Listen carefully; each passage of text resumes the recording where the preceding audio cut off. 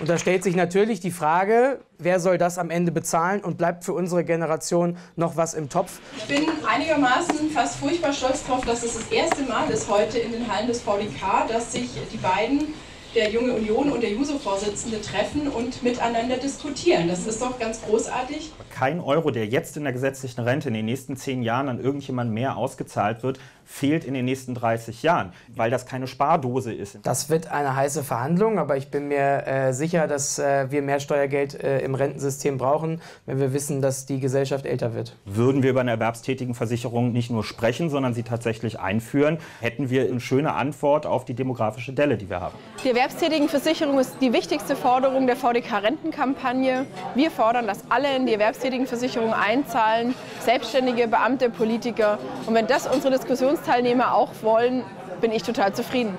Also erstmal ist mein Anspruch grundsätzlich, das hatte ich ja auch eingangs gesagt, dass wir so wenig arbeiten müssen wie nötig. Wer gerne mehr arbeiten möchte, ist alles herzlich eingeladen, aber das Ziel sollte immer sein, mehr vom Leben zu haben und eben arbeiten, um zu leben und nicht leben, um zu arbeiten. Deutschland hat im Vergleich zu allen anderen europäischen Ländern äh, die schlechteste Eigentumsquote in, Deutsch, äh, in Europa. Und äh, wenn wir hier besser werden und man sich im Alter die Miete sparen kann oder eine zusätzliche Einnahmequelle hat, ist das auf jeden Fall viel wert. Also wenn wir jetzt alle ganz leise sind, dann hören wir aus der Ferne die Jubelschreie der Pflegekräfte und Busfahrer, die mit äh, wehenden Fahnen jetzt äh, zum Immobilienmakler laufen, um sich ihre Altersvorsorge zu sichern. Nein, die Frage ist, soll als erstes der Staat für dich aufkommen oder sollen die Leute als allererstes mal für sich selber aufkommen? Hier werden die falschen Gruppen in der Gesellschaft gegeneinander ausgespielt, weil sich das nicht in einer Wechselwirkung miteinander befindet. Den einen etwas nicht zu geben, heißt nicht, dass es die anderen am Ende bekommen werden. Privatvorsorgen fürs Alter kann in Deutschland nicht jeder. Und es gibt Studien, die sagen, dass private Vorsorge, dass beispielsweise ein Modell auch wie Riester sich erst lohnt in einem Lebensalter ab 85. Deswegen sage ich, wer privat vorsorgen kann, natürlich ist jedem unbenommen, dass man aber privat vorsorgen muss.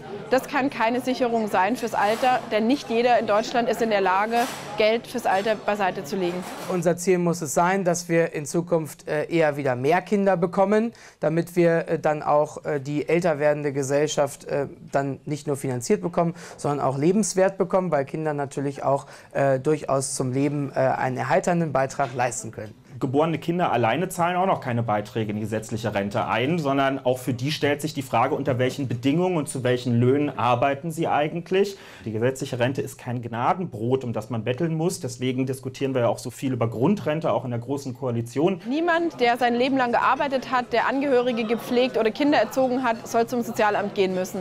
Deswegen, die Grundrente muss kommen und zwar ganz schnell können wir es uns leisten in unserer Generation, wo wir wissen, dass wir weniger sein werden, dass wir jetzt höhere Rentenansprüche sichern, wo heute schon 40 Prozent des Bundeshaushaltes zusätzlich dazu in den Bereich Arbeit und Soziales fließen, 100 Milliarden Euro und nur die Hälfte fließt im Bereich digitale Infrastruktur oder in den Bereich Bildung und Forschung. Aber das ist doch nicht die Schuld von Sozialausgaben, die wir haben, sondern eigentlich hast du gerade das nächste Plädoyer für die Vermögenssteuer und was weiß ich nicht alles äh, abgegeben, weil du nacheinander... Wir müssen das Vertrauen in die gesetzliche Rentenversicherung als die entscheidende Säule der Altersvorsorge stärken.